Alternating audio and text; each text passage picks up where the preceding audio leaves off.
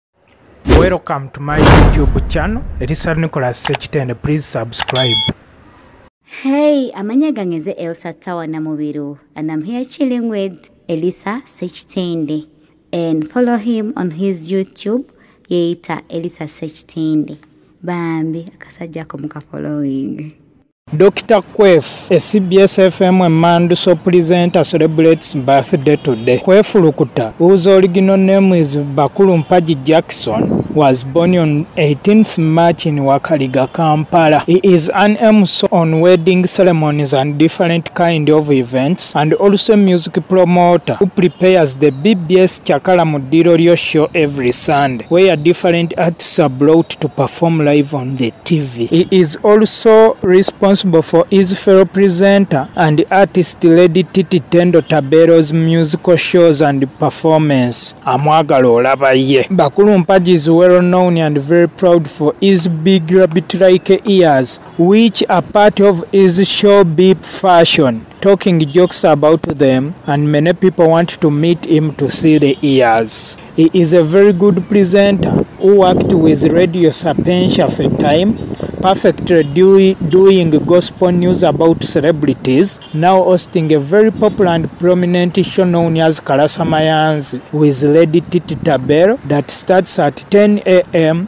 to 1 p.m. every Monday to Friday. Please subscribe and continue to follow more.